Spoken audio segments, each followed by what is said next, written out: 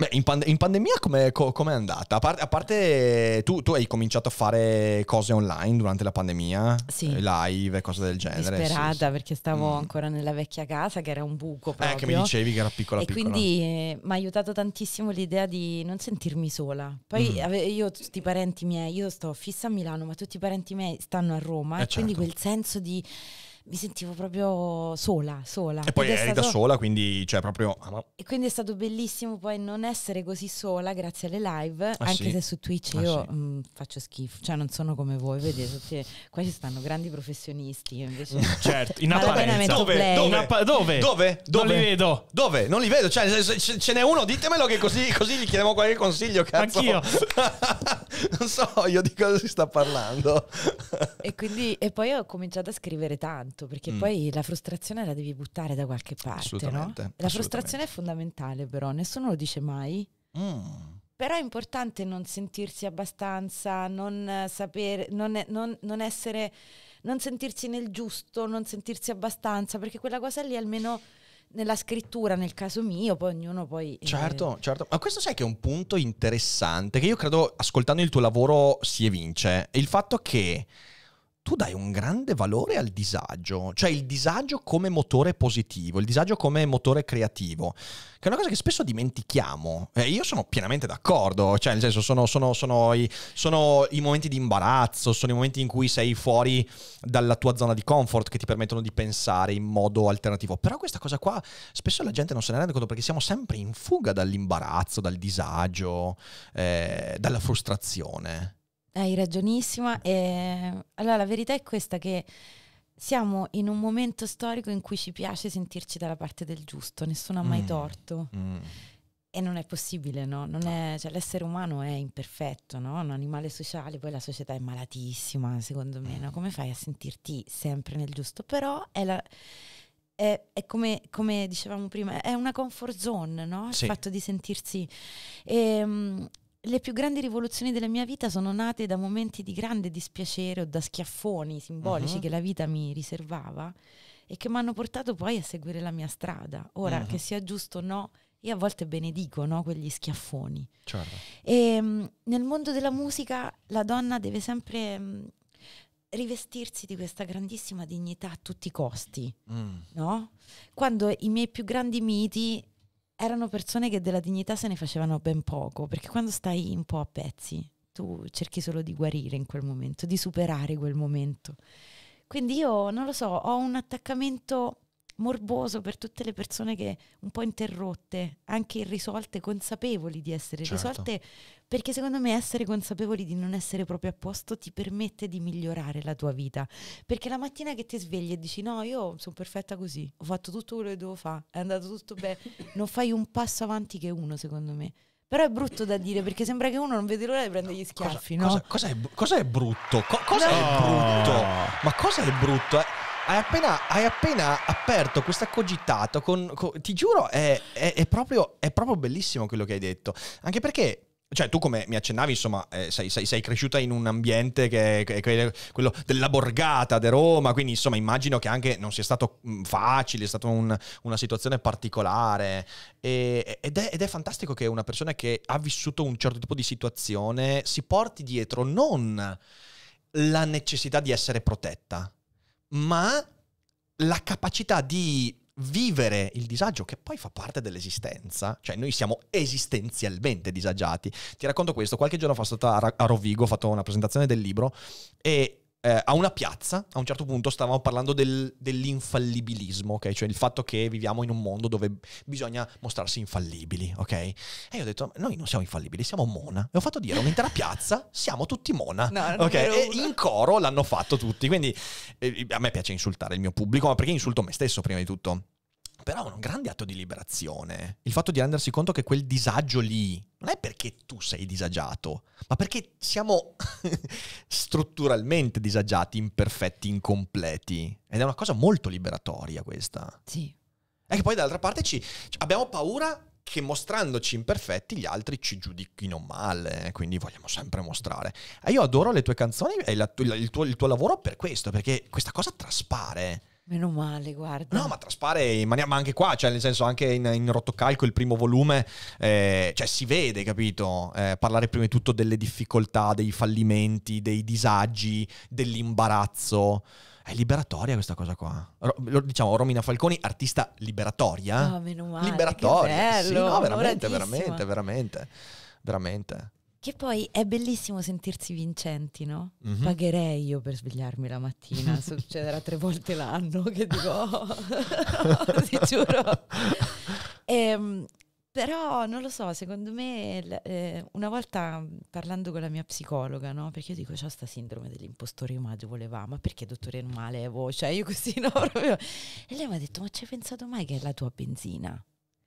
C'è un problema fino a che non è debilitante. Quello che consideriamo problema, Certo. fino a che non è debilitante, non è un problema. Magari è la cosa che ci spinge ogni giorno a migliorarci. Certo, Certo. vorremmo tutti quanti essere ricchi, ma non per, per- per- per fare chissà cosa, per avere la certezza di avere tutto sotto controllo e di poter Una fare rete delle di sicurezza. Esatto, quel tipo di B. ricchezza Certo, lì. Certo, Bravo. certo. Per me la ricchezza è quando ti puoi permettere di fare una cosa all'ultimo. Sì. Non, non- non parlo di yacht, eh, non, non era quella la ricchezza. Oppure, non so, no, vorremmo essere tutti saggi. Poi i saggi mi stanno anche un po' sulle palle, nel senso che... Oh, sì, diciamolo, i saggi ci stanno sulle palle.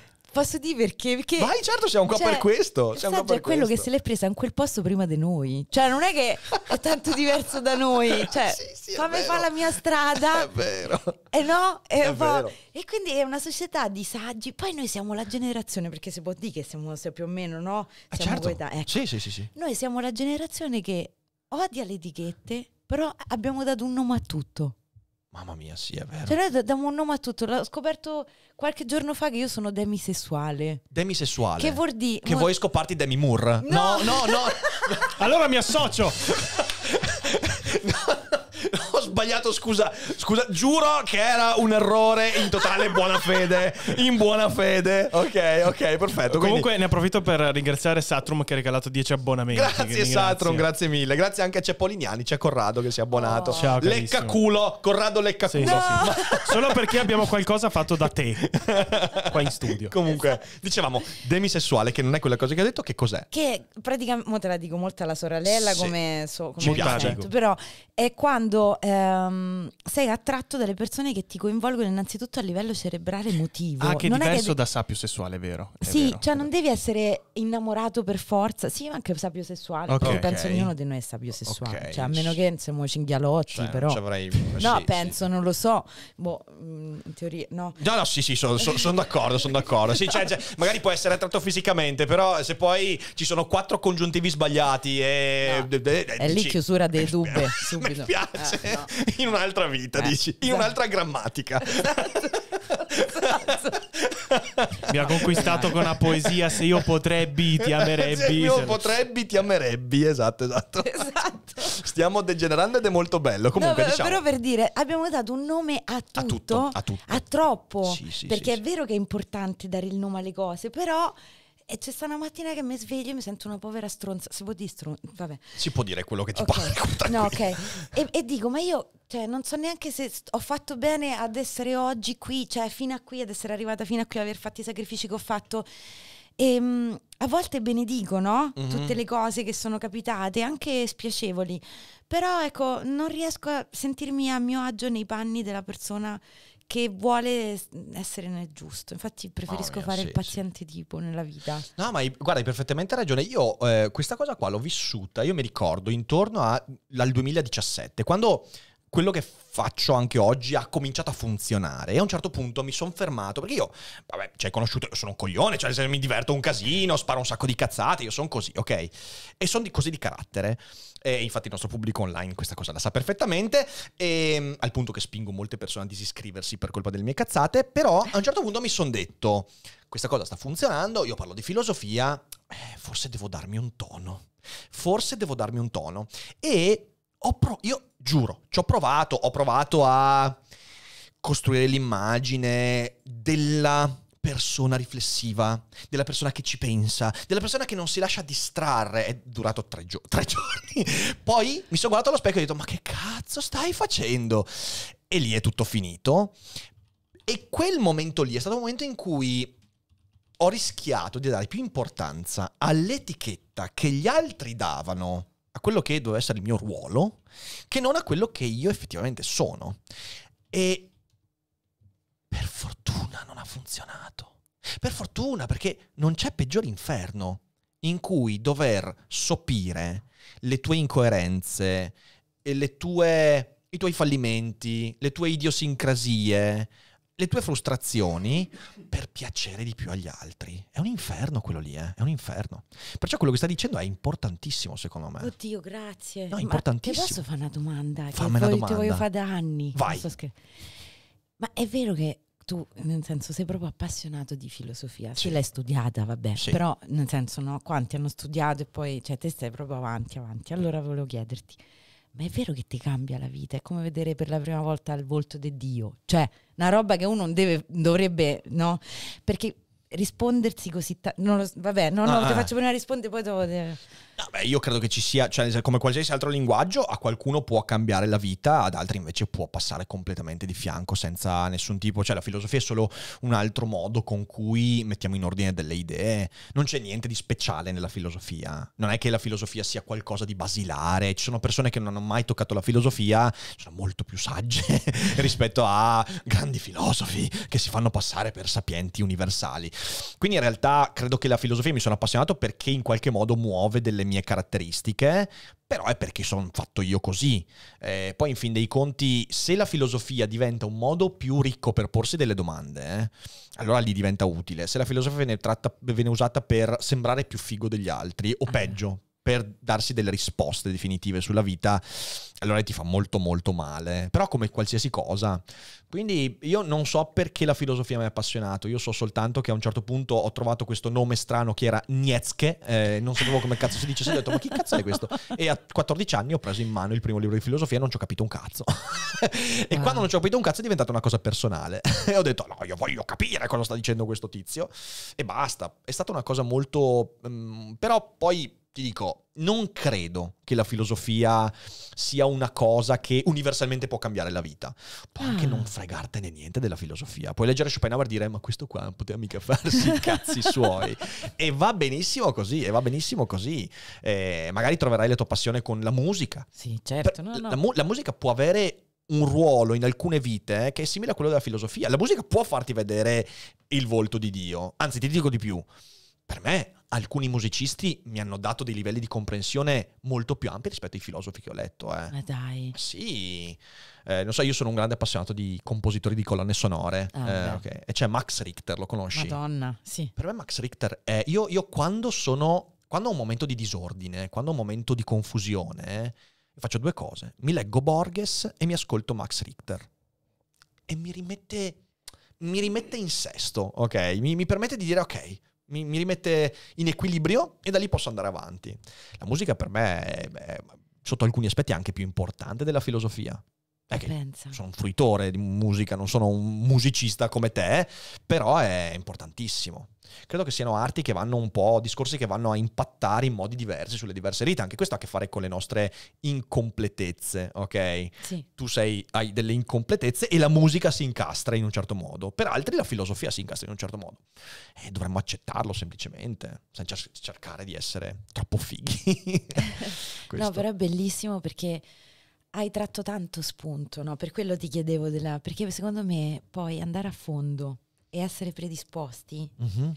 ti permette di farti altrettante domande. E una Certo. persona finché si chiede cose, secondo me va tutto bene. Sì, sì, assolutamente. È quello che intendevo, no? Sì, sì, sì. Cioè è illuminante quella cosa lì, però non è per tutti, credo, come ogni cosa, no? Sì, Come- non è... No, no, ogni, ogni- credo che ogni, ogni linguaggio umano ti permette di porti più domande. Dipende come lo usi tu. Eh, ci sono persone che usano anche la musica per, non so, chi- chiudersi, eh. cioè nel senso persone che usano la musica per dire ho trovato le cose definitive che mi completano. E poi si beccano il tram sui denti perché nessuno poi riesce a diventare veramente completo. Quindi ogni linguaggio, come ogni tecnologia, come ogni discorso, come ogni tipo di cultura, può essere usata per ampliare le domande che ti fai oppure per chiuderti a riccio. Dipende da te. Per quello che dicevi, di- di quello che dici è molto importante, cioè il fatto di ehm, sfruttare la frustrazione, il disagio. Poi tu in, in, in rotocalco di questa cosa parli perché possiamo dire che è una raccolta di disagi, Eh, ok? sì. È una raccolta di disagi, si parla di tradimento, si parla di vendette, tutte cose negative. Ma come? Non parlare di queste cose, perché parli di queste Perché mi fai sentire a disagio parlando di queste cose? In realtà è importantissimo, capito, dare voce a questi aspetti, perché quando li chiudiamo poi in realtà ci fanno continuano a farci male, ma non riusciamo mai a farci un po' di familiarità. Sei riuscita a farci un po' di familiarità con le Eh, tue ombre? sì, cioè, io mi sto salvando, cioè, nel senso che nelle canzoni riesco ad essere quella che magari non so essere nella vita, no? Io Mm. mi sento un po' calimero e quindi ho creato questo, questo mondo che mi permette, che ne so, sul palco di essere quella che non riesco ad essere eh, tutti i giorni. Ma non è mm, una maschera, perché ho degli- dei tratti istrionici, per carità, ma non è solo una questione di maschera, è proprio di, eh, non lo so, sfogarsi bene in quel campo lì. certo. Avrei potuto usare la pallavolo, qualsiasi altra cosa, invece lo faccio tramite le canzoni. E mi piace poi vedere nel mondo ehm, che ci sono le mode, che per carità rispetto tantissimo. Certo. E però ripeto, eh, anche lì i miei miti sono quelli che proprio le mode se ne fregavano. Erano persone che non avevano grandi consensi, non avevano... Ma tipo miti, mi fai qualche esempio di mito? Perché questa mi interessa Allora, tanto. uno che è il numero uno da sfiga, cioè scusa nel senso che proprio, cioè io non auguro a nessuno quello che gli è capitato a lui, ma non gli puoi dire niente, Bach. Cioè Bach, è, diven- Madonna santa, cioè, Bach è sì. diventato famoso cent'anni dopo che è morto, sì, cioè sì, neanche cent'anni dopo, che, dalla morte cent'anni dopo, che proprio era talmente avanti, pure lì bisogna essere attenti a essere padroni del proprio tempo, perché sennò fai la fine Ah, del. Non essere Bach. troppo pionieri, sì. Eh, esatto, però questo qua faceva da, da famiglia, da generazioni, suonava per eh, i, i- ricchissimi, i nobili, eh, e ogni tanto diceva, ma guarda, io avrei scritto una cosetta, te la posso far sentire? No, che è sta cagata? E diceva, cioè, te rendi, Bach, capito? Oppure Van Gogh, cioè io mi innamoro di Eh, tutti povero. questi... Di questi proprio mm, interro- come crepati, come si può dire? Cioè, sì, di sì, gente sì, che eh. proprio non, e, non faccio minimamente il paragone, cioè, nel senso, no, No, non però è che mi capito. Però dico, ma se a me mi sono sempre piaciute le cose difficili, ma come pretendo io di essere semplice nella vita, no? Perché Sì. poi tu sei anche il frutto di quello che ti è piaciuto. Sì, cioè, sì, sì, è sì, poco da fare. assolutamente, Cioè, Credo assolutamente. tanto in questa cosa. Che poi quello che dicevi sul... Cioè, alla fine, eh, cosa ci mette più a disagio e, e cosa è che ci frustra di più della, della complessità? Cioè, quando, quando ti guardi e dici, cazzo, ma io non riesco mica a mettermi in ordine, non riesco ad essere perfetto come quelle cose che vedo su Instagram, su YouTube, non riesco a fare tutto quello che dicono i vincenti e via dicendo. E, e questa cosa ti frustra. E la tendenza a chiudere da una parte quell'aspetto che non, non ci piace, non ci piace perché ti mette un- appunto ti, ti mette a disagio, ti, ti impone di guardarti in un certo modo, è molto molto forte. E quindi è importante in realtà poi, magari eh, io credo che sia importante prendere l'esempio di un Bacco, di un Van Gogh, per vedere la diversità, poi magari senza desiderare di essere proprio dei diseredati della- dell'epoca come Sì, que- Cioè, nel certo. senso, mamma Sì, mia. Sì, sì, esatto. No, no, Favorelli, no. Però in generale, e, e il punto è quello, no? Io per esempio, e, e- mo faccio Marzullo, scusa. Vai. Però allora, Rick, cioè, quando è che tu hai capito si può fare? Cioè, che quello che stavi seminando, che quello che stavi seguendo per tuo destino, perché ti piaceva, eri mosso da passione. Ah, poi volevo dire una cosa, apro una parentesi. Tu hai fatto una diretta stupenda parlando di motivazioni e di moventi. Ti è La piaciuta? differenza, madonna, ma farei da tua, peccato che un'ora di cosa. Beh, uno, cioè, senso, proprio peggio di The Rock finisci, cioè, ne- No, la cosa è incredibile, però ti giuro, no, ti giuro, Sono quella roba lì è stata incredibile perché proprio mi è esploso il cervello. Ho detto, questo c'ha ragione proprio. Perché la gente fa fatica a... di- a- cioè, la- il movente è la motivazione, no? Il Sì, movente, è- no, la passione non, non devi aspettarti cose con la passione, devi aspettarti di stare bene perché stai seguendo una cosa Certo. che ti piace. E vi consiglio a tutti di recuperare quella live se non l'avete vista. Capito, capito. Stronzi della mia community che non hanno visto quel video, capito? Ve lo dice Romina Falconi, eh. Poi vengo ad interrogarvi. No, ti chiedo, quando è che tu, mosso da passione, ti sei messo a lavorare facendo quello che fai? Poi non è che ne fai una di cose, te la delega lì. Nel senso che fai allora i libri e poi il teatro e poi le dirette, che so, io ne faccio una settimana, sono stressata, io non so come, vabbè. però no, però per dire, no? Mhm. Ehm, quando è che hai capito, oddio, si può fare? Cioè, sta cosa può diventare... i- Guarda, il, il lavoro, ok? Eh, è successo quando veramente eh, io sono arrivato a un certo punto della mia vita, io ho mollato un lavoro che avevo prima, ok, ho cominciato a fare sta roba e ho speso un sacco di tempo inutilmente, apparentemente inutilmente, a pubblicare video, imparare i social network e via dicendo. E sono arrivato, in due anni sono arrivato ad essere in bolletta come poche altre persone al mondo, quindi dovevo scegliere tipo se pagare l'affitto o comprarmi una nuova schedina SD, quindi siamo arrivati a quel livello lì.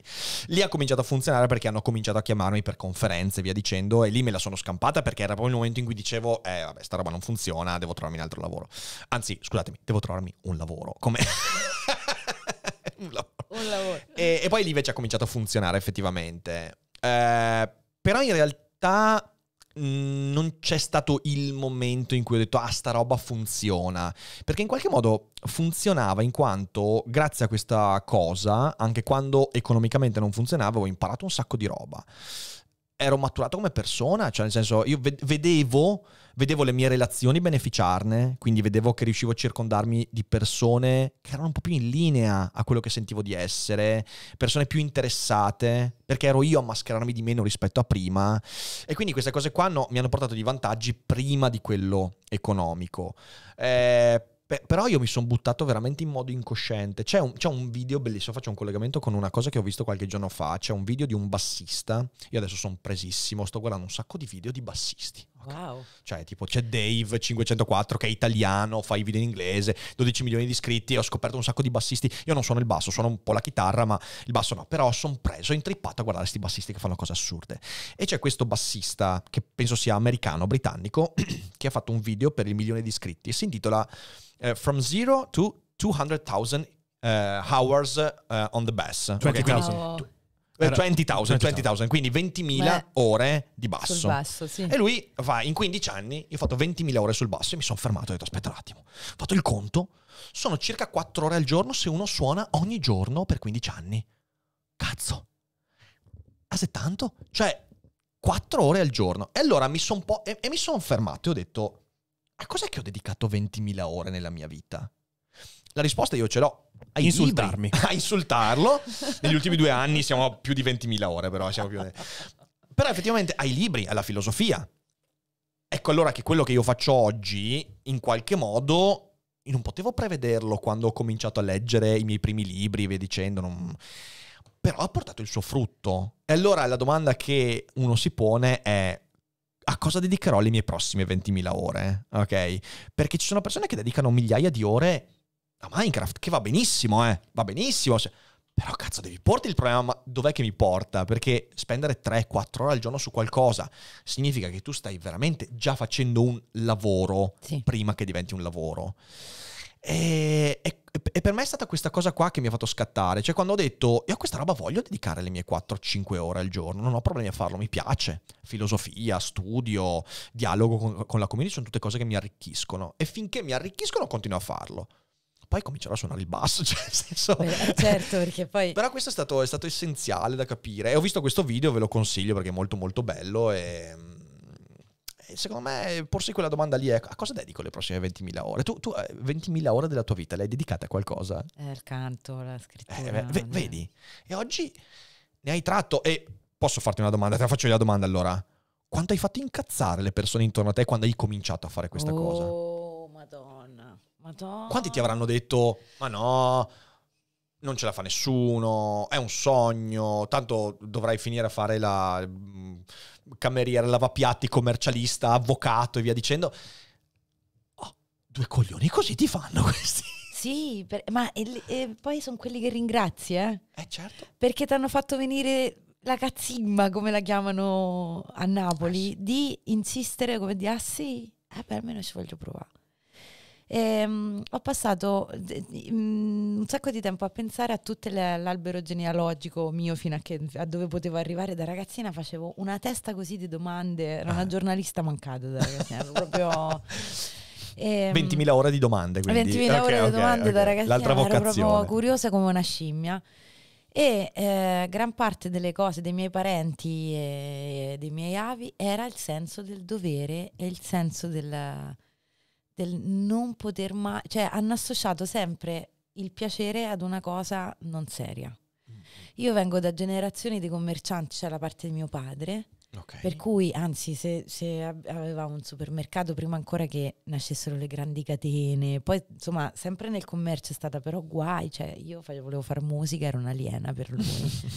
Quindi è stato veramente il mio Vietnam, però lo ringrazio perché Quel contrasto lì è importante. Io ce l'ho avuto con mio padre. Questa Sì? cosa qua, sì. Sì, tu- allora tu immagina, mio padre piccolo professionista veneto perché era geometra quindi con uno studio da geometra e io eh, finita l'università comincio a fare un lavoro normale ai suoi occhi e poi a un certo punto io voglio mollarla quella roba dopo quattro anni e mezzo la mollo tu immagina cosa è cosa ha significato dire a mio padre guarda io ho mollato tutta quella cosa che tu capivi e mi, rimetto a fare filosofia usando internet è stato un momento, stato un momento di contrasto ed è stato un motore in realtà, perché diventa una sfida. Cioè, io mi ricorderò sempre questa cosa qua. Io feci una litigata mostruosa con mio padre, quando, appunto, in quel periodo, quando iniziai, e io dissi, io voglio vivere di libri e scrittura. Questo è quello che voglio fare.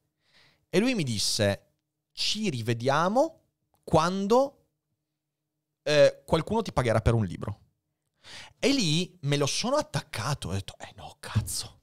Io non voglio tornare qua e dirgli effettivamente Hai no. ragione, avevi ragione. E sono tornato e mi ricorderò sempre questa cosa qua. Il primo anticipo che ho preso per un libro, che è stato per il libro di Agostini, ho detto, ecco, ti ricordi? Ti ricordi tre anni fa? Ti ricordi? Ecco qua, visto. e lì, e lì in realtà è andato tutto bene, cioè non è stato un contrasto, era molto contento. Quella sfida, quel fastidio, quel- quella frustrazione è stata fondamentale. Siamo creature che vivono di contrasto. Se sappiamo gestirlo, ovviamente. Perché magari il contrasto ti consuma anche. eh. Oh, madonna, ti sì, consuma. Sì, sì. Può, può- può minarti. Però credo che bisogna, cioè, in qualche modo va affrontato un po' con coraggio il contrasto. Cioè, Sì. tu mi dai l'idea di essere una ragazza coraggiosa, nel senso, la frustrazione, il contrasto, il fastidio, non mi nascondo, No. lo affronto a viso aperto. No, no, poi sono fragile su altre mille cose, perché poi c'è questa cosa che se tu mostri le tue fragilità o racconti di un episodio magari che ti ha veramente distrutto, disossato proprio, a volte la gente fa un tutt'uno, cioè, cioè, se sei fragile in quello sei fragile, magari sono granitica su altre cose, no? Certo. Ed è questa la, la bellezza poi della- del, del crescere, no? Di, di avere un basamento più solido di quanto si possa credere. Uno dovrebbe essere armonico sempre con se stesso, no? Sì. A volte non sono neanche... Cioè, c'è una cosa sola sacra ed è la cosa che ti fa star bene in quel momento per te. Però quella è, quella che in quel momento ti fa alzare la mattina e avere un po' di energia. E quindi va bene così. Assolutamente, Questo- assolutamente. E eh, non lo so, però se la gente... Io non- a me ogni volta capita che ogni volta che esce una canzone è un po' un giorno triste per me perché non è più mia. Ti hanno appena regalato l'abbonamento al nostro canale. Sei abbonata a dei Ora sei Cogito, abbonata. sappilo. Eh, sappilo, che carini, sappilo. Ed è partito l'hype train. Grandi, ragazzi, Grazie grandi. POS, grazie a tutti quelli che stanno sostenendo. Grazie mille. Scusa l'interruzione. Che meraviglia. Allora, no, dico, quando esce un tuo libro, non hai un po' di tristezza che quella roba lì non la puoi plasmare più, non è più tua? No, in realtà per me quando esce un mio libro dico "Uff, fatto. Ah, sei serio? Fatto.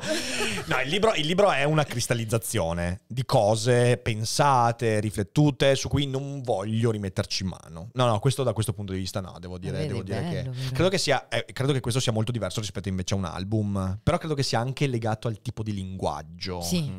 penso, eh, può, de- può La essere. musica è molto più magmatica rispetto invece alla pagina scritta. E poi credo che cambia anche molto un romanzo da un saggio.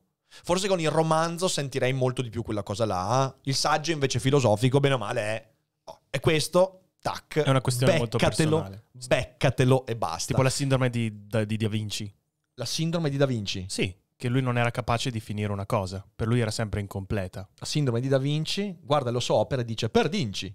Bello. Complimenti! per Dinci, Rick! Sappiate, sapete che avevo in mente un sacco di, di, battu- di rime terribili che io ho evitato. La mia mente ha selezionato la rima che non ci faceva bannare da Twitch. Quindi io No. voglio, voglio dirla Bravo, questa cosa. ti sei Voglio, dirla, impegnato, voglio dirla, voglio dirla. Comunque altri abbonati persi, ma va bene così. Dicevamo, diciamo. Tu la senti invece quella, que- quella cosa? Sì, io sento quella cosa, dico, Dio, non posso più metterci mano. Eh. Perché no, mi, mi piace l'idea di plasmarle fino all'ultimo. Poi in realtà si ricomincia da capo e ogni volta ricomincio da capo e mi sento come se fosse il primo giorno. È bello questo, è bello. ne- vabbè, il saggio magari è diverso, però eh, secondo me uno scrive innanzitutto per sé, Sì. Come un salasso. so come di. Perché secondo ogni volta che ho pensato eventualmente a un ipotetico ascoltatore non riuscivo, c'avevo proprio il blocco. No, cioè, ma come oddio, fai? faccio? Esatto. Guarda, quando la gente mi chiede, eh, tu mi hai fatto la domanda prima, chi è il tuo target? E la mia risposta è, ma che, che cazzo ne so? Cioè io ai miei eventi incontro l'ottantenne, il quattordicenne, il professore di filosofia, quello che non ha mai letto un libro di filosofia in vita sua, trovo, trovo di tutto. Perché? Perché io queste cose io le, faccio, le faccio veramente per me, cioè io Sì, parlo sì. di quello che mi interessa, nel modo in cui mi interessa. Ho la- l'idea che se uno fa una cosa onesta nei propri confronti, poi arriva anche all'altro. Però se io mi ponessi il problema di dire, ok, che target voglio incontrare oggi? No, no, lì è macello. Sì, sì. Ah, non, cazzo, che inferno, Sì, sì. che inferno. No, No, fai le cose per te. E ve- verranno fuori più autentiche, più oneste. Ehm, E, le farai per crescere tu. Cioè, questa Sì. è la cosa bella, no? Sì. Cioè, tu eh, da- dalle tue canzoni impari, non insegni. Eh, ne impara, sì, ma da, in Hai gene- capito? eh, sì, sì, no, ma è, è bellissimo poi se- sentirsi sempre di, eh, ogni volta è un ricominciamento, so come si può dire, ogni Sì. volta è un... eh, Un nuovo inizio, sì. un nuovo inizio, sì, sì, sì. No, quello è bello. Finché lo senti è la strada giusta. Poi quando quella roba lì la perdi e senti che ogni volta, oh cacchio, sento la fatica di fare, la fatica di ricominciare. Allora lì magari no. Devi cambiare qualcosa, Sì. devi cambiare qualcosa. Però finché succede, finché senti, tipo io mh, questi, questi mesi qua sono stato stanchissimo, sono arrivato a volte, però ero- avevo sempre voglia di andare in live. Dicevo, ah sì, andiamo a incontrare quei piccoli stronzi in chat che ci fanno ridere e che insultiamo un po' a caso. Eh, beh, cioè, nel senso, questo È è, liberatorio. E ci, e ci insultano, peraltro. Quindi, eh, Adoro. fi- finché senti quella cosa lì, sei a posto, sei a posto, no? Ehm, prima eh, parlavi di, di, di- di quell'aspetto lì delle, delle fra- perché è un, un tema che mi interessa tanto, quello delle fragilità. Ehm, e dicevi, qu- quando ti rendi conto di ciò che ti rende fragile, in qualche modo non puoi nasconderlo. E c'è questo aspetto, non so se tu sei d'accordo. Eh, noi siamo fo- forti su tante cose, ok? Non so, siamo competenti su quella cosa, abbiamo delle certezze, chi più, chi meno, e poi abbiamo un sacco di cose su cui siamo traballanti, insicuri, incerti. Se tu ti metti a nascondere quelle cose lì, si vede, si vede. E quindi in qualche modo credo che uno debba affrontarle, ok? Manifestarle, dire, oh, ragazzi, sì, cioè, queste cose, traballo, sono incerto, ho paura e non c'è niente di male. Perché poi se tu non fai questo, poi non ti rendi conto che le vere incertezze, cioè quelle che proprio ti minano, che ti fanno cadere, sono quelle di cui non hai consapevolezza. Cioè quelle che arrivano veramente dall'oggi al domani. C'è un romanzo che, la gente lo sa in chat, io, è il mio romanzo preferito, che è Solaris, di Lem. Quale? Solaris, Mai sentito. mai sentito. in cui c'è questo psicologo che scopre di essere fragile per una cosa che pensava di aver completamente risolto nella sua vita. E a me quella roba lì è successa. Se tu però non hai il coraggio e la forza di affrontare le cose che sai renderti fragili, quando poi arriverà il tram, quello grosso sui denti, non ti ripigli più. È verissimo. Ed è per questo che cioè, mi, mi è piaciuto il tuo approccio rotocalco, però di nuovo si vede, si vede questo, infatti sono molto curioso poi di sentire l'album quando, qu- quando uscirà. Quando è che esce il primo singolo? Perché io è già Il uscito. primo singolo è uscito un mese fa insieme a Me Rottocalco. lo sono la- perso, devo suora. Poi lo ascoltiamo a fine, a fine live, lo ascoltiamo. Ah, a fine, non possiamo farlo per YouTube, Eh, purtroppo no. però qui su Twitch poi ce lo ascoltiamo a fine live. E, e poi e ogni, e siccome volevo parlare di ombre psicologiche, Mhm. E ho detto: Ma lo spettro, un'ombra, si può descrivere in tre minuti di canzone? Ho detto, Mm, no. mm. Allora ci faccio pure sopra una specie di trattato. Ho fatto un misto, cioè sembra. eh, Bart dopo che ha preso una botta in testa, cioè io volevo analizzare delle cose Sì. e però farlo eh, con lo stile da Data Francesca, sai Certo. quella degli anni 90, no? la, la- la- la serie tv. E, e farlo però con l'aiuto anche, che ne so, di un'antropologa, di una psicologa, che Sì. sia Monia Daddio, Elena Nesti, eh, amici scrittori che mi parlavano delle, lo- delle loro gaff Certo. in riferimento al tradimento.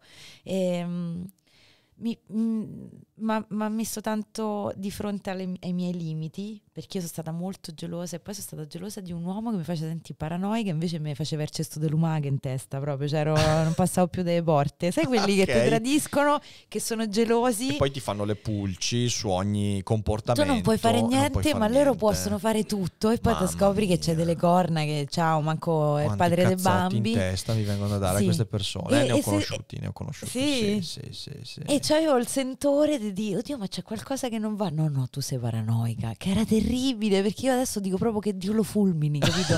cioè, non è che, lo- non è che passa il tempo, lo- sono cresciuta, Certo, sono più... certo. No, no, proprio la- il senso di maledizione aumenta ogni volta. Ma immagino, immagino, immagino. Ehm, E poi il senso di vendetta. Mo, la vendetta che sta qua dentro, la storia della fragilità, no? Sì, Cioè, la vendetta, nessuno ama sentirsi vendicato. Cioè, tutti mm, la, la associano a una roba disdicevole, una cosa poco carina.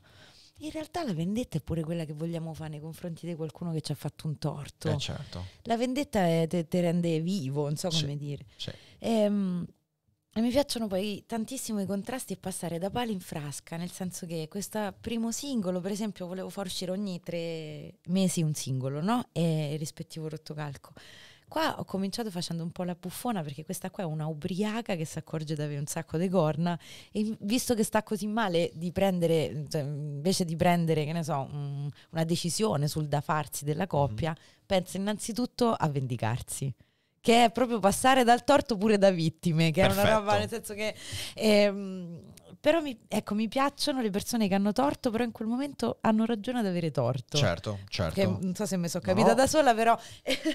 e mi piace tanto perché tutti vogliono avere ragione, tutti vogliono essere le persone della porta accanto, tutti vogliamo essere montessoriani, no? Cioè, cioè, razionali. razionali, Sì, sì. mettersi il giolino giusto così, cioè tutti ci sentiamo superiori e io superiore non mi ci sono sentita mai. E, mh, nel senso che anzi mi sento sempre mm, manchevole, no?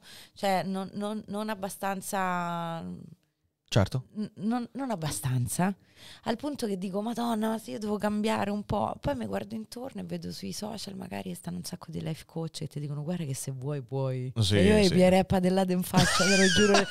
Perché dico, ma se vuoi puoi cosa? Che io se te raccontassi... Le, come- pade in- le padellate in faccia ai life coach è un sentimento che Sono tipo effettivamente sai che lo sento, lo sento Il molto tram in anch'io. testa che hai detto qualche giorno fa. Il tram in testa, esatto, esatto. Sì. Qualche giorno fa in trasmissione al posto del tram sui denti ho detto ti deve arrivare un tram in testa. Ho detto no, cazzo, un po' esagerato. troppo violento, troppo violento. Però sì, le padellate in testa ai life coach è un sentimento che condivido molto. Simboliche, sia chiaro, Sì, noi sì, siamo dei signori. Però, eh. però, però, però. Sì, Mettiamoci un forse, dai. maybe. Ma come dice But maybe. But maybe. But maybe. Ma sì, sai quelli che gli piace perché loro per primi ci devono credere. Eh sì, allora sì, ripetendo sì, devo sì. credere. E quindi ehm, non lo so, eh, ho scoperto sta cosa. Ah, scusa, mo te apro sto pippone di suono. Vai, vai, vai, vai, ci piacciono i Ehm, pipponi.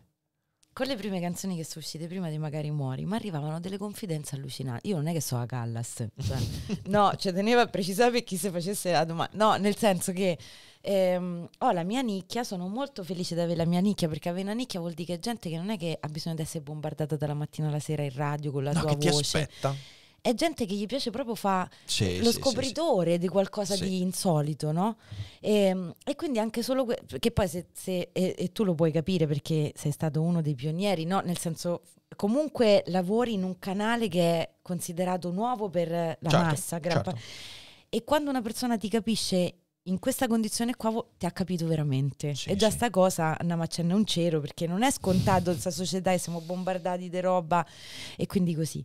Ehm, ma arrivavano queste confidenze allucinanti. Ho detto, ma facciamo un centro d'ascolto. Perché mi hanno detto, ma fammi un firmacopie. Dico, ma non è da mercenari il firmacopie. ma dico, ma poi che so, a Gallas? Chi so, Cioè, cazzo. dopo quattro città abbiamo chiuso qua a baracca. Dico, quindi, eh sì, perché parliamo. de- eh, sai che uno deve costruirsi, no? All'inizio ci è Certo. voluto tantissimo. E ho creato questo centro d'ascolto. A parte che la gente che passava diceva: Ma è gratis? Dico, certo, signora, che è gratis. Cioè, no, a volte dicevo perché mi piaceva l'idea che quelli che mi seguivano per una volta fossero ascoltati dalla cantante invece di Bellissimo. ascoltare. E perché nascevano proprio delle confidenze così. Da lì mi è venuta l'idea dei rotti in cuore, cioè del disco che uscirà.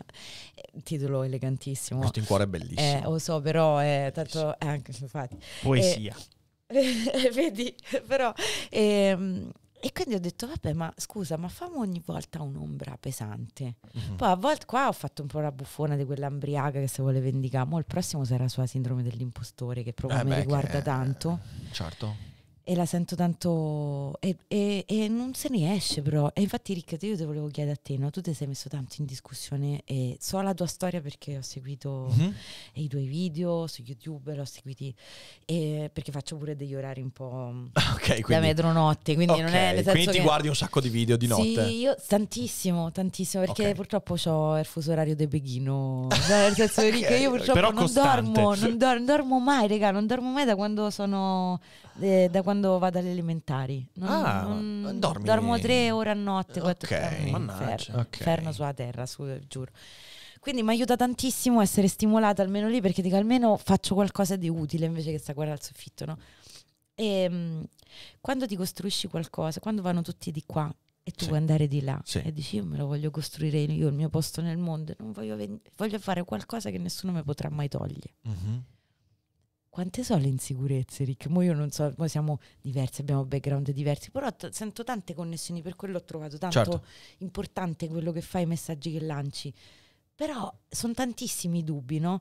Però a volte se ti fai divorare dal dubbio, che no, Eh, bisogna tenere un po' di equilibrio. Cioè, nel senso, io credo che sia eh, è fondamentale nutrirlo quel dubbio lì. Perché eh, i periodi più brutti della mia vita sono quelli in cui avevo smesso di chiedermi se quello che stavo facendo era effettivamente il mio, ok? Perché non avevo il coraggio della risposta. Eh, cioè, già sapevo che non era il mio. Però non mi ponevo la domanda perché altrimenti la risposta mi avrebbe dovuto far mettere in discussione. Da lì ho imparato, ho detto io ogni giorno devo chiedermi veramente in qualche modo se quello che sto facendo è il mio, se mi rende soddisfatto, se mi dà carburante. E questa cosa vale per il lavoro, per le relazioni, per tutto quanto, ok? Poi non si può fare sempre perché sennò ti esaurisci, ok? Però avere l'atteggiamento di dire io devo nutrirlo quel dubbio lì. Poi dall'altra parte tu sai che eh, quello che fai è sempre un salto nel buio, cioè è sempre un salto nel buio. Ehm, negli ultimi 4-5 anni io ho fatto un sacco di salti nel buio, alcuni mi sono fatto male, ho sbagliato, eh. Però quei due o tre che hanno funzionato oggi mi permettono di fare quello che faccio e di darmi la libertà creativa che ho e di aver creato relazioni con persone problematiche come il mio regista, ma insomma anche importanti con altri collaboratori, ospiti con cui sono nate amicizie. Quindi dobbiamo sempre renderci conto che è un salto nel buio e per questo il- quello che dicevo prima, siamo tutti mona, ok? Siamo tutti mona significa semplicemente che quando senti quella sindrome dell'impostore, eh, non è che perché uno non la mostra non la sente. Siamo tutti impostori. Siamo tutti impostori. Siamo tutti, tutti abbiamo un grado di finzione che diventa malvagio quando vuoi convincere gli altri di essere più di quello che sei, ma diventa proficuo quando fai pace con la consapevolezza che tutti stanno un po' fingendo e che tutti brancoliamo nel buio. Quando tu ti rendi conto di questo, il salto nel buio lo fai perché sai che tanto lo stanno facendo tutti. Ed è quello lì l'equilibrio. Metti in dubbio te stesso, sapendo che il dubbio non è un ostacolo che ti stai mettendo, ma è inevitabile. È inevitabile. Perché senza dubbio siamo dei sassi. È questo? Madonna, è. È questo. E, e credo che sia, sia una cosa importantissima. E, e quando smetti di porti quella domanda lì, qu- quando smetti di nutrire, allenarti a quel dubbio lì, allora è perché stai veramente deragliando. Non te ne accorgi. Stai cercando di conservarti. Stai diventando un'etichetta. Ok? Quando diventi un'etichetta, cioè diventi l'etichetta che gli altri vogliono darti. Eh, lì diventa una merda. Lì veramente diventa una merda. E quindi è questo un po' secondo me il discorso. Per questo che è nutrire le incoerenze, ok? Avere co- grazie, grazie, grazie del Wow. fumo. E grazie anche a Ride, Around the NBA. Abbiamo Grazie. dei cestisti qua questa sera. Wow. Ciao cestisti. Eh, per questo che nutrire il dubbio, eh, non scappare dalla frustrazione, usare l'imbarazzo, l'imbarazzo come motore creativo. Non puoi creare niente se non ti imbarazzi, eh. Verissimo. Madonna, altro tatuaggio. Cioè, veramente, se non, ti denu- se non hai il coraggio di denudarti un po', se non hai il coraggio di contraddire le aspettative degli altri, Oh, madonna, sì. che cazzo fai? Diventi la replica? La replica di repliche, di... allora fai il filosofo. Allora devi essere sempre vestito in un certo modo, devi parlare sempre in un certo modo, non puoi usare parolacce, devi Certo. sembrare in un certo... Cioè, ma, ma che palle! Ma che palle! E quindi è questo, cioè io ci vivo male con queste cose qua e perciò vaffanculo. No, ma è verissimo, però te sei creato la tua dimensione ed è tua. Ah sì sì, Cioè, io invito chi cazzo mi nessuna- pare, io invito chi cazzo... Sei mai stata invitata da un filosofo in trasmissione? Ma di- io no. Vedi no. cazzo, Vedi, ecco! eh, certo. E invece i filosofi devono invitare di più Romina Falconi. Porca miseria. sì, sì, è, è questo, è questo il, um, il punto. Quindi mi piace, mi piace molto il tuo atteggiamento, mi piace molto. Poi c'è anche l'atteggiamento, cioè c'è anche proprio il- la, la satira fa parte di questo. Oh, sì, Ok. Grottesco. I miei miti. Il grottesco. Nel, nel- Dammi un altro mito grottesco. Dai, dammi un altro mito del grottesco. Vabbè, ogni tanto... Pippo Baudo, come hai detto. Ah sì sì, ah, sappiate, sappiate che ah, io questa cosa, questa cosa la voglio dire. Ah, sc- ah, fermi tutti, fermi tutti. Ha appena ricevuto il più grande complimento della sua vita. Ok. Il qui presente. Romina Falconi, prima di questa trasmissione, mi ha detto che... Cos'è che mi hai detto? Ho detto, ah, Orica, sei meglio di Pippo Baudo. Ma no, ma, Oh là! Là! ma voleva essere un complimento. Ma lo è! Ma lo è! No, perché lui c'ha una dialettica. Io ho detto, io sono tutta un po' agitata, dico, perché questi hanno due cervelli così. Che io ando vado. E lui mi dice, ma no, ma io non capisco perché a volte... È... Dice, ma cosa sarà? A volte le persone si sentono, come mi hai detto, che, che tu vo- che sei una persona semplicissima, però a volte ci sono state delle persone che ti hanno detto, ti hanno incontrato e hanno detto, sai che non ti facevo così. Mhm. E io ho detto, guarda che è colpa della dialettica, perché se c'è una dialettica perfetta, sei meglio di Pippo Baudo. Pippo Dufer ride scritto. tutti, No, come ma come avessi- Pippo Dufer? Pippo no, Dufer. Pippo Dufer, io vi querelo, eh. Io vi... Io vi querelo. Pippo Dufer, però ride. Io vi querelo. Io vi querelo. Rick Dubaudo. Rick Duba. È andata così, ricca, a me mi Pezzi di dispiace merda. tanto. È Pezzi andata di così, merda. fratelli. Comunque, comunque, comunque. Torniamo, torniamo a, a- a noi. Dicevamo, la satira, miti, Ah. grottesco. Mi hanno chiesto spesso in intervista, ma tu eh, che- qual è il tuo eh, artista di riferimento? Si aspettano tutti in cantante, anche lì, ma perché devo copiare uno che già, già c'è riuscito? Dico, arrivo io, mo mi seguono a me, seguiranno, seguiranno quello. E i miei miti sono Mario Monicelli e Elena Oh. Cioè quelli che del fallimento hanno fatto i protagonisti di tutte le storie possibili. Il grottesco è prendere una tragedia e provare a riderci su. Che lo so che è, è folle. Nelle canzoni sta cosa non, non funziona, cioè è molto difficile da far capire perché il cantante che interpreta quella canzone o che l'ha scritta, non importa, è un po' il portavoce, un po' come Miss Italia o come Miss Universo. Cioè tu devi soccombere un po' alla tua biografia. Mm. Quindi non puoi di mo adesso te buco le rote. Cioè, perché tu devi essere un buon esempio. Che dico, ma, ma scusa, ma ripetiamo, ma che so, a Montessori che te devo, devo educare. Cioè, manco fi, perché devo educare? No? E dice, no, però non è educativo. Ma per chi? Cioè, chi? io voglio raccontare un disagio perché? Perché l'empatia sta mancando sempre di più. Perché Mm. fa- già il pregiudizio dall'alba dei tempi c'è e va bene, è una cosa che c'è anima e fa parte Certo. di noi. E chi crede di non avere pregiudizi sta sbagliando perché chiunque no, vede una cosa insolita, diversa, si fa già un'idea. Però adesso con la distanza, che in realtà è tanta quella attraverso i social, no? Perché tu ti senti vicina ad una persona e in realtà non sai nulla di lui, credi di farti l'idea, no? Certo. Ti senti vicino quando Certo. ti pare, ma insomma, in realtà il giudizio poi diventa feroce. E diventa feroce il giudizio perché manca un po' il gioco dell'empatia. Io mi sono detta, ma perché non interpretare delle situazioni fallimentari? De modo che uno diceva, ma sta cosa l'ho pensata anch'io.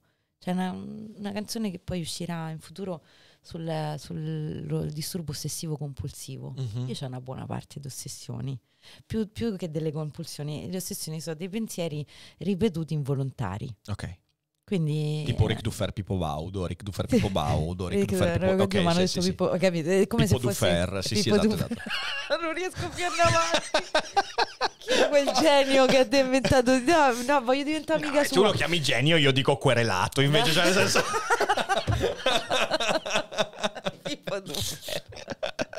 e, ehm, e- e quindi non lo so, mi, dico, ma sai che l'immagine del vincente a me non mi è piaciuta mai? Io a scuola ero quella strana.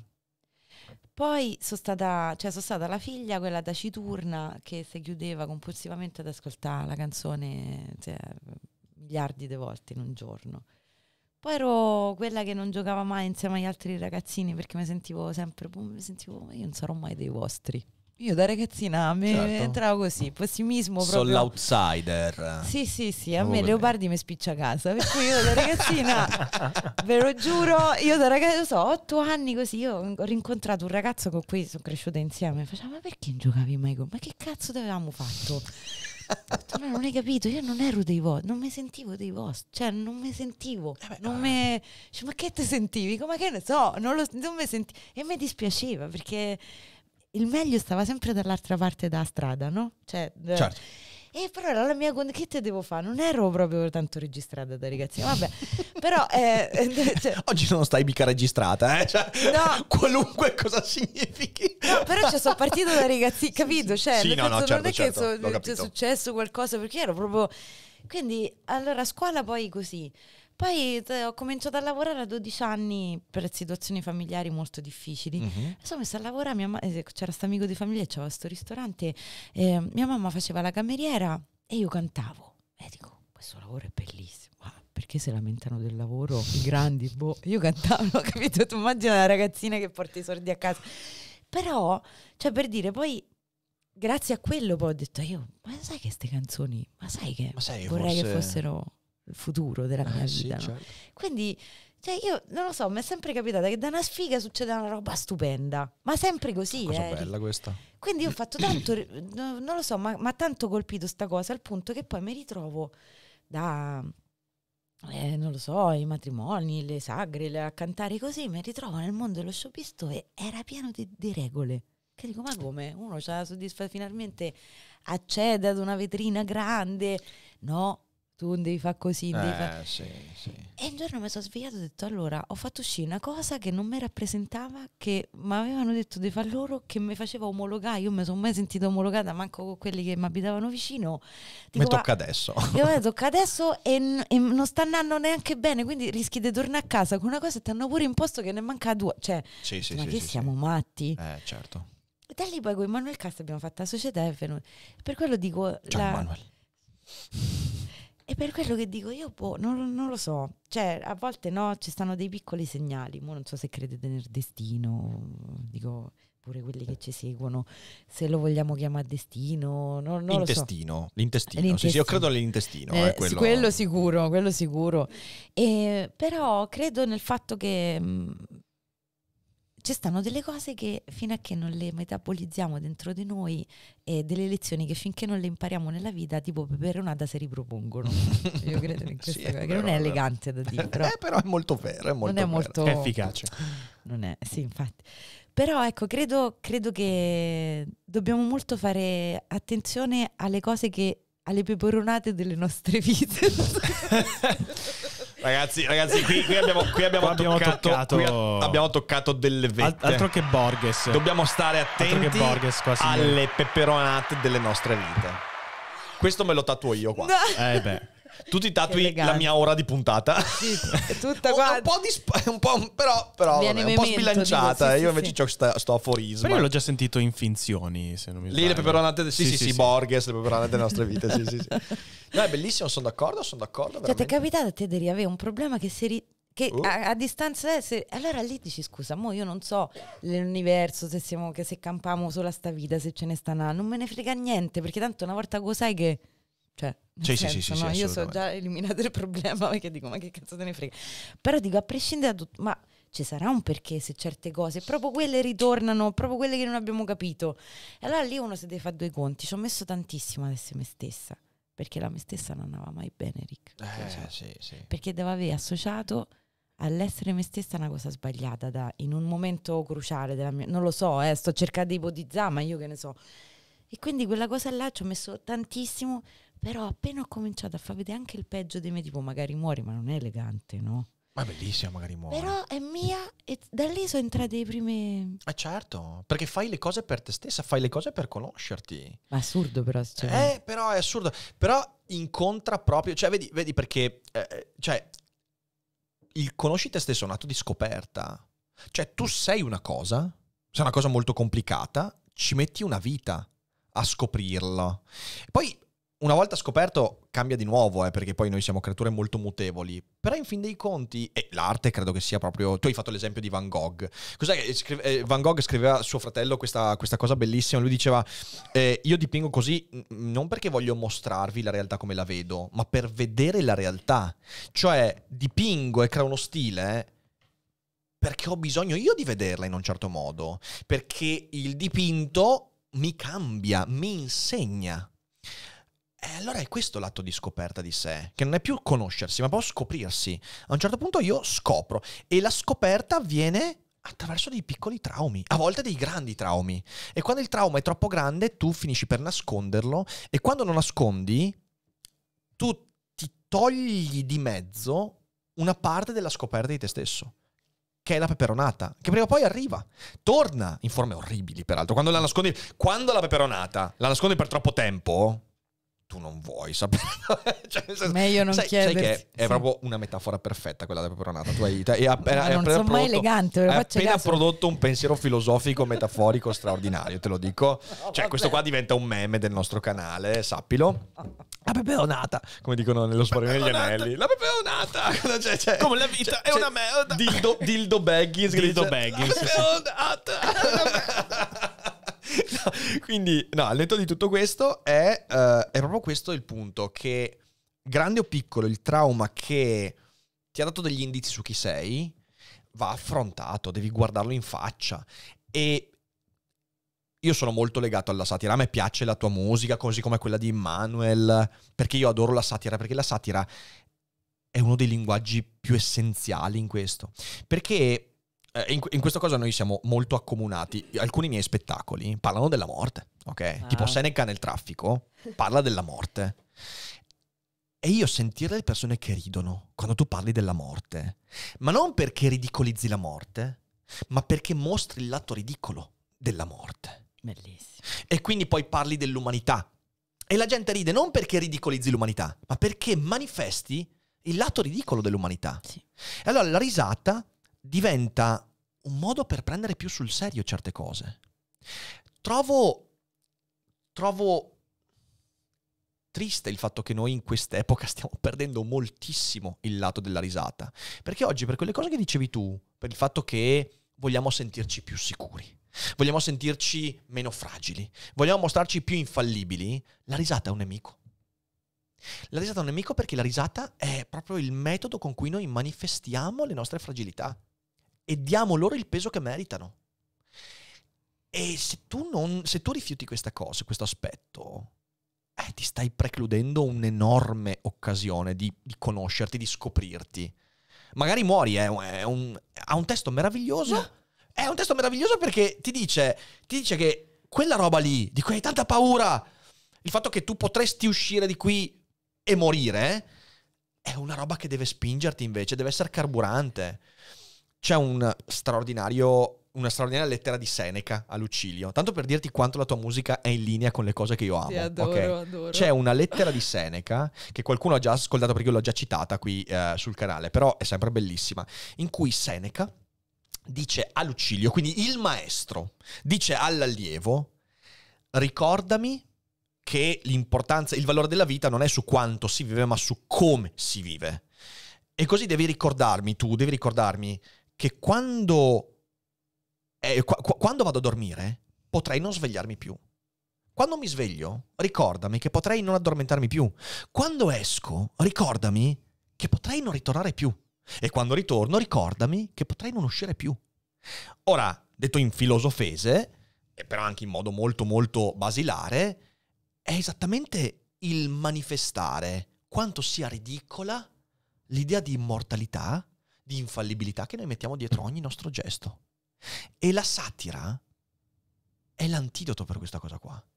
Viviamo di merda perché ci siamo convinti che le cose siano serie nel modo sbagliato. Sono serie le cose, ma quella serietà va trattata con la risata, non per ridicolizzarla, No, no. ma perché è quella la dimensione che ti permette di guardarla in faccia e dire, eh cazzo, è vero, è vero che potrei morire di qui a poco ed è per questo che devo Spingere. affrontarmi. Sì, sì. Eh, cavolo, questa cosa qua è essenziale.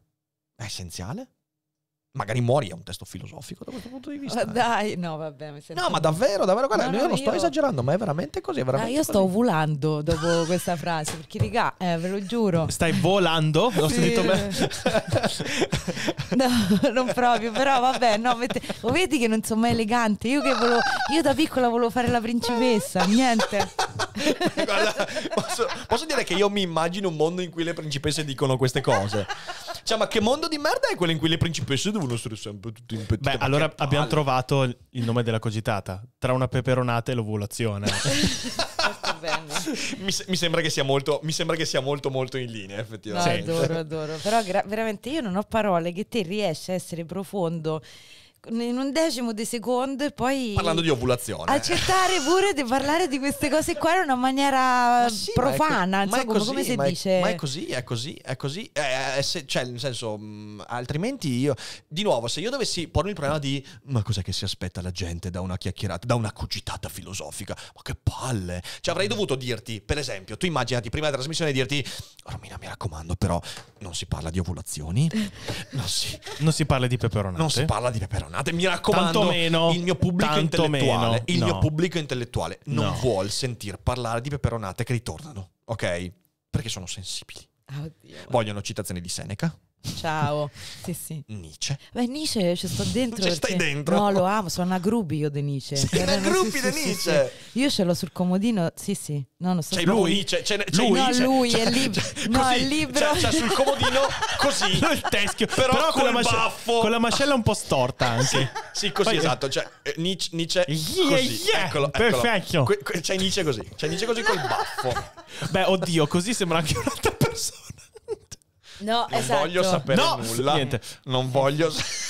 È bellissimo, veramente. È stupendo. Ok, ok, ok. L'eterno ritorno della peperonata è bellissimo. L'eterno ritorno della peperonata, altro possibile titolo, bravi ragazzi. Bellissimo. Nietzsche, sei una gruppi di Nietzsche. Adesso voglio sentire co- cosa ti è piaciuto di Nietzsche. Ma Cosa- tutto, io eh, veramente allora, l'ho scoperto con eh, Così parlò Zarathustra Ok.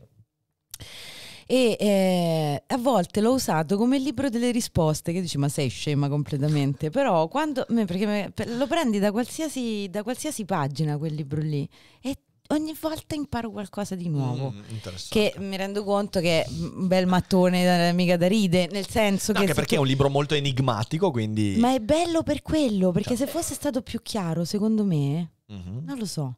Eh, E poi mi piace tantissimo lui che scrive delle sue memorie, del papà che è morto, poi della cosa. Cioè, me- perché poi io me Quindi si innamoro... letta anche i frammenti di Nietzsche. cioè, nel Certo, senso è- io eh, esatto, sono proprio cioè, un ultra veramente de una- Ni- Sì, un poi- ultra... Lo sai che non lo sai che è? Una Perché- ultras. Una ultra dell'Ubermensch. Una ultra Ubermensch. Cazzo, è, cioè, siamo, siamo- E io che sono tuo fan, sono un fan dell'ultra Ubermensch. Mannaggia, Cioè, ragazzi, oh. e chi segue questa live è un follower fan ultra Ubermensch. Adesso la smetto, la smetto, No, no, giusto, no, giuro, no, la, no, smetto, no. la smetto, la smetto. E mi piace tanto perché non era scatolabile lui. Cioè, non è- scatolabile nel senso- ah, inscatolabile? cioè, Sì, sì. Non lo potevi mettere da nessuna... Cioè, non, non, Ah, perché eh, non moriva assomig- se lo metti in una scatola, Eh scusate. certo, no, no. Non è circoscritto. E, e quindi mi piace tanto il fatto che fosse, mm, non lo so, una persona estremamente illuminata. E, e lo amo proprio perché, vabbè, a parte quando racconta della sua vita, lì è tutto molto chiaro, però amo, eh, non lo so, l'ho sempre amato in maniera viscerale, pur non avendo propensione, nel senso io la cosa più... Ho, cominciato ad amare la filosofia, penso, non ride col mondo di Sofia. Eh beh, ma tantissime persone, ci Sì, mancherebbe. Sì, eh, vabbè, però non è sì. proprio... Cioè, Eh beh, poi- è, un, è un- è un testo entry level che ci sta e può essere una buona introduzione. Senti, ma mi dici qualche filosofo che tu hai detto proprio l'ho odiato? Odiato. Sì. Beh, sono tanti. Davvero? Beh, sì, potrei citarti. eh, vediamo un po'. Ehm, vabbè, ovviamente il nemico pubblico numero uno che è Hegel, cioè nel senso. Ah. mm, cosa vuoi? Cioè, nel senso. Adesso ci saranno tutti gli hegeliani che dicono: No, tu Fer, devi smettere di dire queste cose. Leggetevelo Hegel, cioè, nel senso, a me ha fatto male all'anima. Eh, oppure. eh, Vabbè, c'è- c'è- ovviamente tutti gli hegeliani, quindi anche, non so, anche Marx e via dicendo, per me sono, sono- sono- sono difficili da affrontare in tanti modi. Un altro filosofo, poi oh, oh, ci sono dei filosofi che ho amato anni e anni fa e poi ho cominciato a rifiutare, Ma ok? dai. Tipo i francesi di, di metà anni 90, tipo Derrida, Deleuze, eh, Foucault, che in, realtà Ah, Deleuze. rileggo ancora, però oggi insomma dopo aver maturato un po' di visioni mi dico, cazzo, mi hanno scritto un sacco di supercazzole, capito? Quindi insomma, sì, sono tanti, sono tanti. Eh, però è interessante quello che dicevi su Zarathustra, interessante perché ehm, aprire un libro del genere e farsi scatenare delle domande, delle riflessioni. È un ottimo modo per usare un libro così, perché è un libro degli enigmi. E io ho usato così, e adesso sicuramente qualcuno si farà una risata, io ho usato così eh, Li Ching. Hai presente Li Ah, Ching? certo. Io c'è stato un periodo, allora io ho scoperto Philip Dick, mm, l'autore da cui hanno tratto Blade Runner e via dicendo, autore di fantascienza, e lui per un periodo della vita usava Li Ching. Li Ching eh, si utilizza o con degli steli di bambù o con delle monete. Tu, eh, sulla base del risultato delle monete che getti a caso, hai delle parti del libro. E, e per me è stato inter- Io l'ho usato per anni Li Ching, e non sto scherzando. Ma pensa te. Perché in realtà Li Ching è un interessantissimo modo per farti porre domande in modo alternativo. Che è un po' quello con cui si, cioè, si può fare così anche con lo Zarathustra, ok? Cioè è una fucina di domande. Tu hai un problema? Tranquillo, se apri Li Ching in un certo modo, non ti predirà il futuro, non è quello. Quelli che lo usano male dicono, ah, Li Ching ti dice che succederà. No. Li Ching ti crea un enigma che ti impone di porti domande in modo diverso su quello che stai vivendo. Per un periodo della mia vita è stato utile, è stato, è stato un po' più di un divertissement, è stato proprio un modo per cercare di fare ordine su alcune cose. Poi, poi l'ho abbandonato, cioè io è, è là, ce l'ho, ho ancora le monete, però è, è molto bello perché di nuovo questo va, va a collegarsi a quello che dicevamo prima, cioè utilizzare la cultura non per darsi delle risposte, per dire ah ok, le cose stanno così. Che non sappiamo un cazzo di come stanno le cose. Nietzsche meno di tutti. Nietzsche ha avuto una vita di merda. Mamma mia, Beh, vedi che io, ma io amo proprio questi qua Sì, sì, sventrati una- dalla vita. Ami una- disperati. C'è una Oh, mi passione per piace gli tanto. A me sventrati. se non finisce in tragedia non mi ci metto nemmeno, eh, raga. Eh, mi dispiace, signora mia. Signora mia, la Signora tragedia. Cioè, faccio C'è caso, ci tutto- fosse uno con una vita che dice, ah, ho avuto una botta di culo. Manco No, uno. manco uno. No, no, no, effettivamente Nietzsche botti di culo poche. Porello. Poche, poche, poche. La botta di culo l'ha data il cavallo poi a Torino. Scusa- vabbè. Scusatemi. Vabbè, vabbè. Scusatemi, eh, non, parliamo de- non parliamo delle perversioni sessuali di Nietzsche. Comunque, eh, dicevamo, eh, l'idea è quella di farsi scatenare delle domande, non di trovare delle risposte, che, che- che è un modo, è un modo controintuitivo, ok? Perché hai un problema, ok? Mente calcolatrice dovrebbe portarti a dire, ok, questa è la soluzione. Questo può succedere quando devi far volare un aquilone o devi, cazzo ne so, programmare la drum machine e via dicendo, sì. Però, se devi porti il problema di dire che cazzo faccio della mia vita? Come sta andando la mia relazione? Come cresco i miei figli? A chi cazzo le chiedi le risposte? Cioè, chi ti darà delle risposte? Il life coach. Ma Mamma che prendi a padellate.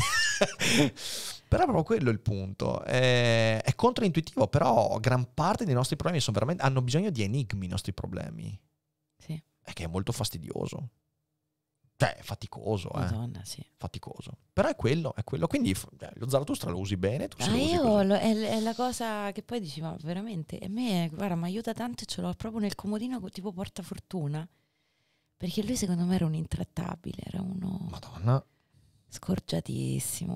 Però, se, ecco, se fosse stato uno un preso bene, un fricchettone, ma che Eh. mica scriveva quelle No, cose. non Cioè, scriveva. Nel senso, non sto dicendo, Dio, che bello che hai avuto una vita di merda, Frederick, che così siamo tutti, tutti più illuminati. Che c'hai da... Però sto dicendo, eh, a volte quello che eh, magari non amiamo tanto di noi è la nostra benzina. è la cosa che poi permette anche a chi sta intorno a noi di imparare tanto. Nietzsche era un vecchio scoraggione, e questo gli ha impedito di essere un vecchio scorreggione, no? No, io lo Eh? amo, vabbè. No, capito. A proposito di peperonate. Ah, peperonata! Vedi che ritorna Eh, tutto e va sempre eh, lì. eterno poi. ritorno. Eterno ritorno peperonata. No, però sì, sì, è, è- è- è vero, ogni tanto ci penso anch'io. Io, eh, non so, mi viene in mente Kierkegaard, ok, che è uno, uno dei filosofi che bene o male negli ultimi anni ho citato di più, perché, beh, perché è stato veramente... Anche lui, tipo, c'è, c'è questa cosa di Kierkegaard che mi fa impazzire. Eh, lui era molto cristiano, ok, era molto...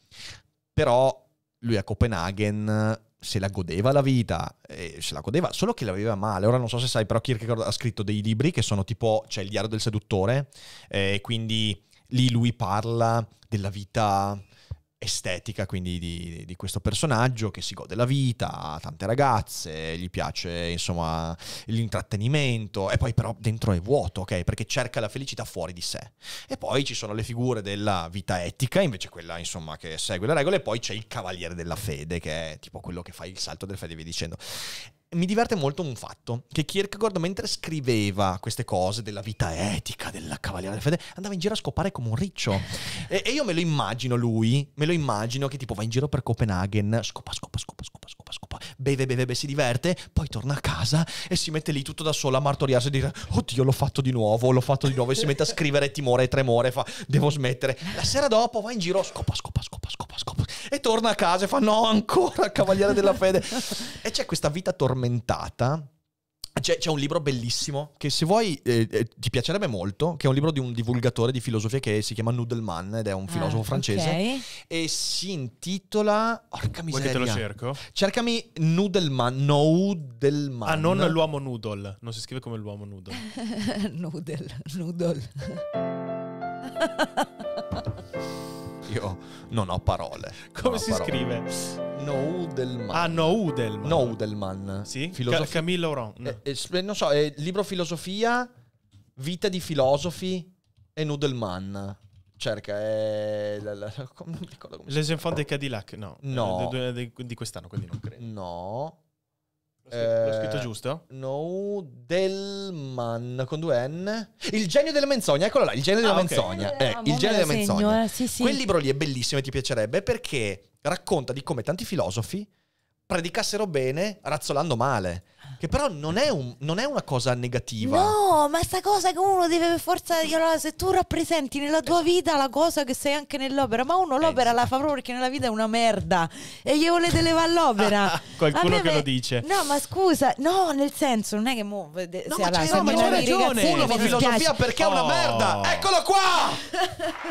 Pippo Baudo è pure una È, merda. è come gli psicologi. Secondo te gli psicologi Ma- sono le persone più sane al mondo? Il scherzando? contrario, il contrario. Sì, Uno si deve È salvare. è vero. Uno è si vero. deve salvare e quindi l'opera deve- è, è una roba che, che- che- che fai perché nella vita non, non lo sai fare quella cosa, cioè, almeno creo qualcosa che sta un po' di buono visto che io sono una merda.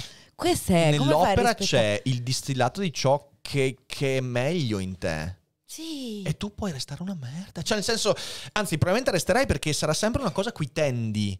Ed è questa una cosa importantissima. Questa è veramente una cosa importantissima. Eh, C'è, una, eh, c'è un esempio di questo, non so se sei presente. Eh, Io adoro, io sono un grande appassionato dei Noir Désir, ok? Ah, bellissimo. sì. Tu sai che il cantante di Noir Ah, Désir... ha ammazzato quella Figlio di puttana, ok. È stupenda, Figlio di visto che bella che era. Mamma mia. Sì, bellissima. No, e- vabbè, non è perché se era brutta meritava di No, però morire. nel senso, nel senso è, stata una, Roma, è stata una storia proprio, è stata una storia proprio brutta, Stacche, ok? no? Anche perché No, poi è venuto fuori che in realtà lui è stato violento per lungo tempo e poi l'ha Sì. Io continuo ad ascoltare le canzoni di Mardesir, ma non perché io ritenga che lui meriti di essere, no, ma perché so che la sua opera artistica è la parte migliore e l'artista non è mai all'altezza di ciò che produce. Mai. E la separazione, de- sai, si, si parla spesso della separazione fra opera e artista, ok? Che detta superficialmente sembra una cosa molto discutibile, però poi quando ti rendi conto che se tu, sulla base del fatto che un uomo o una donna era una merda, ok? Devi toglierti di mezzo l'opera che ha prodotto. A parte che dovresti cancellare tutto quello che c'è, perché da Gauguin a Velasquez, No, tutti fa- pezzi di merda, ok? Tutti pezzi di merda. Però al di là di quello, l'arte è, la pa- è la- il distillato migliore dell'umanità. E il fatto che un assassino, femminicida, pezzo di merda abbia prodotto quella musica, in realtà è un atto di salvezza. Tu immaginati quanto ci può salvare l'idea che dal- dalla bassezza di quello che siamo, dagli antri in cui possiamo accadere, si possa trarre la poesia, si possa trarre qualcosa che migliora la vita, che ci fa vedere qualcosa di più. Per me è una cosa essenziale questa. Non è verissimo. Ed è molto in linea con quello che dici tu. Siamo delle merde rispetto alle opere che potremmo compiere. Ma sarebbe peggio il contrario, no? Mamma cioè, se fosse, cioè, tu immagina una persona perfetta, stupenda e fa un'opera che è un po' così. co- A me Le Von Porterà mi fa, mi fa piangere. A maggior, a maggior ragione adesso mi fa piangere ancora di più perché dico tu eri inconsapevole che avresti fatto un macello. La Fiorino. caresse la mitraille, cette plaie qui nous tiraille, les palais des autres jours d'hier et demain. Eh, eh, cioè, è un testo. Bellissimo. Che è no, no, ti giuro, bellissimo, hai ragione. E quanto mi stupisce il fatto che un essere umano di merda possa fare una roba del genere. Ma posso fare altri esempi? Pensa a Céline. Céline, che oltretutto... Io lo amo, eh. Cioè, Io lo amo. Céline era un razzista, era Tremendo. antisemita, era maschilista. Poi c'era anche una malattia mentale piuttosto seria. Cazzo, ha scritto alcuni romanzi che sono delle La cose... viaggio al termine della notte. A me, allora, a parte che sono rimasta male, la prima pagina a bestemmione. Ho detto, vabbè, tu sei uno di noi, io ti amo. Solo così, guarda, non voglio manco arrivare a fine. Ho già Sei deciso uno di noi! che sei uno di noi. Perché questa arriva a bestemmione, la prima pagina del viaggio al termine della notte. Io sfiderei chiunque. Ho detto, questo qua è un illuminato. Poi ho capito, poi prima mi sono folgorata col libro, poi, eh, poi dopo, perché poi io sono un po' una nerd, nel senso che eh, succede questo, che voglio sapere poi tutto delle cose delle persone. Ok, ok. E sono una feticista della dietrologia, delle- cioè, dico che cosa ti ha spinto a scrivere quella roba là? E quindi mi faccio i miei viaggioni, sto lì le ore, sempre perché dormo a notte, quindi qualcosa dovrò più fare. E, e ho scoperto quello che dicevi te, cioè che era razzista, però come diceva Pasolini, tu non puoi collocare un uomo al di fuori della sua storia. Certo. Cioè quello lì, eh, perché dipende, no? se tutti noi nascessimo no, in una famiglia chiusa, razzista, e, mo lascia perdere che c'è internet, vai a scuola, ci stanno dei principi diversi rispetto a tempo fa. Però se tu nasci in una famiglia storta, e la chiamo storta volutamente perché l'intolleranza come puoi, no? Pretende... Ma come pretendi di essere una persona a posto? Già Certo. dovrai lavorare su te, dovrai farti il doppio del sedere che si fanno gli altri perché per avere la metà, perché risulterai sempre strano sì, sì, sì. perché la tua matrice non era registrata come, cioè nel senso non era eh, con tutti i crismi. Quello lì è venuto su in una condizione, cioè con la madre sarta, che, cioè, che non, non- mo non mi ricordo, ma si faceva la comunque sì, Sì, sì, brutta situazione, brutta un situazione. freddo della Madonna, poi Parigi, cioè nel senso Sì, no, non è proprio... E non lo so, e io lo amo follemente, e lo amo proprio perché era sbagliato come uomo. E da, quella, da, da quell'uomo sbagliato sono venute fuori alcune cose che permettono di migliorare la vita degli altri. Cioè, l'opera artistica, che sia letteraria, musicale, e poi anche di nuovo ci mettiamo dentro la filosofia, un sacco di roba, è migliore della condizione da cui l'artista parte. È il distillato di quelle parti che l'artista magari neanche rie- riesce a, ric- a riconoscere. Cioè, sono convinto che le cose che io ho visto in Morte a Credito o Viaggio al termine della notte sono diverse rispetto a quelle che ci voleva mettere Céline, ok? Ed è questa la cosa straordinaria. Ed è per questo che quando poi uno invece vuole trasmettere un'immagine di sé che sia perfetta, la sua opera non potrà mai essere all'altezza della sua proiezione. E quindi tu avrai sempre opere mediocri, avrai sempre opere che vivono del solo contesto, che non possono tendere a dire qualcosa di più. E, il- il- l'infallibilismo e il perfezionismo è- sono veram- veramente una malattia, veramente una malattia. E io, cioè, nel senso, io amo proprio l'idea di dire pubblicamente: sono un coglione, sono un mona, mi sbaglio su un sacco di cose, dirò un sacco di cazzate, ne ho dette. Basta, sono questo, lo sai anche tu. Sì, sì. E spero che nell'opera che compio io riesca ad essere migliore di quello che sono nella vita. Altrimenti a che cazzo serve l'arte? Vero. A cosa serve?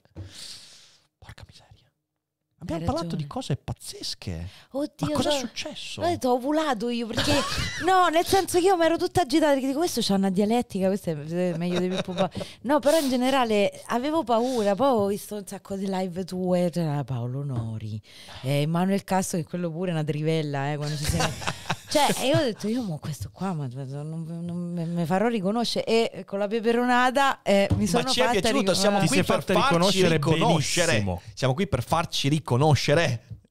Sono troppo onorata, veramente. Cara mia, è stata, è stata veramente È stato una un mega piacere. fantastica È stato un mega piacere. e che eh, no, cioè, sarà la prima di una lunga serie. Oddio, Speriamo, che Dio speriamo. mi benedica, grazie. Peraltro, adesso, adesso eh, intanto eh, dico a eh, tutti quelli che stanno ascoltando in differita di guardare in descrizione perché trovate tutti i link per seguire il lavoro di Romina nel caso non, non- non la conosceste e anche per trovare il suo primo volume di Rottocalco. Adesso perché in live andiamo ad ascoltare il singolo perché a me manca ancora, a me manca Oh, ancora, io Gesù. non l'ho mica ascoltato, quindi andiamo ad ascoltarlo.